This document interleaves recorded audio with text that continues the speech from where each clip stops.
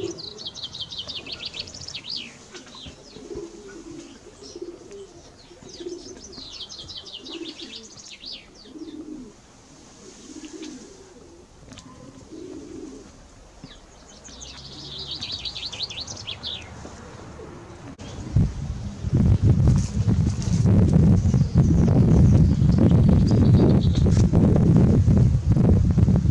jak co dzień.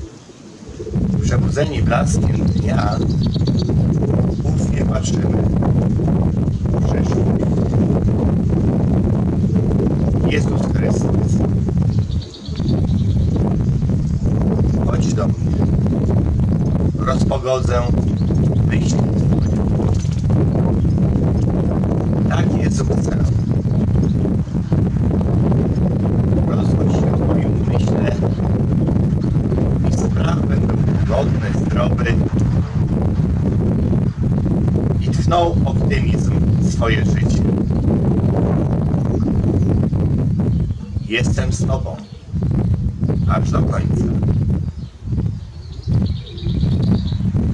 Jezus Chrystus nigdy nie przekazał nikomu duchowego przyzwolenia, by spieniężyć jego fenomen. Wszystko, co robił sam i wszystko, co robią jego uczniowie, robią to za darmo. Bowiem istotą, przesłaniem wszystkiego, co boskie, jest za darmo rozdawanie. Wiosna. Uprawiam ogródek. Ogródek ten dzierżawę dał mi Bóg. On nie jest mój. Dzierżawię go na okres mojego życia. Jakie wyda owoce?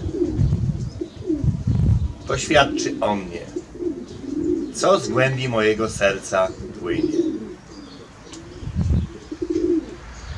Jezus Chrystus, kluczowodszy mężczyzna o niewysokiej posturze, przebogatych myśli, darach i uczynkach, zamiłowania był ogrodnikiem. To właśnie naśladując Jego, upiększamy naszą drogę życia otaczając się roślinami, których zapach, piękno barw, kształtu tak bardzo zbliżają nas do tego wyśnionego raju. Posłuchajmy teraz chwilkę książeczki. Książeczkę tą dostałem od taty na komunię. Tak woli przypomnienia to Kościół jest tylko i wyłącznie instytucją finansową dbającą o pomnażanie swojego majątku.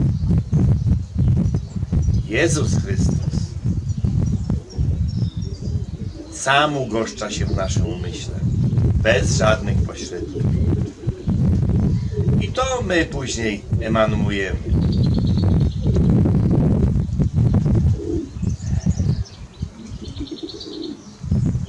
Dwa przykazania miłości.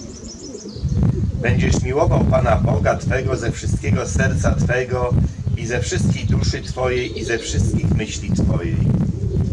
To jest największe i pierwsze przykazanie. A drugie podobne jest temu. Będziesz miłował bliźniego Twego jak siebie samego.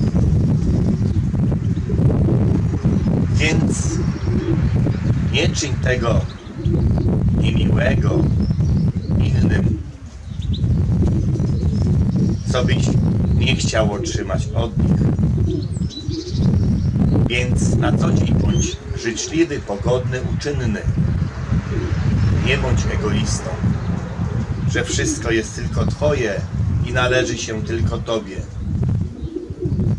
Ponieważ obudzisz się, co prawda, w różowym, przestronnym pięknym pokoju, lecz żaluzje będą opuszczone. Nie będziesz mógł się wydostać z tego swojego skarbu zgromadzonego tutaj na ziemi.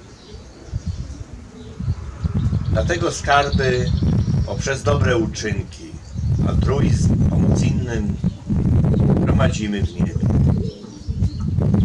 To formie kwantu, w tych naszych myśli tworzymy ten skarb. I to znowu odróżnia nas od innych, na kilometr poznać Jezusa, którzy obdarzają innych miłością. A Jezus Chrystus swojej wielkości pomnaża ją, wygładzając drogę i układa z nich trakt, trakt miłości. Wiosna, maj tu z zapasem, kwitnące ogrody, wszystko jest boskie. Tutaj nie ma nic naszego. Nic nie jesteśmy w stanie samemu zrobić, pomnożyć. Jedynie upiększać, pomnażać to, co już Bóg nam ofi- ofiarował. Życie. Więc by żyć jak najdłużej, cieszyć się zdrowie, trzeba kochać Jezusa Chrystusa i nie bacząc na trudy, nieść ten swój krzyż, a On nam wskaże drogę.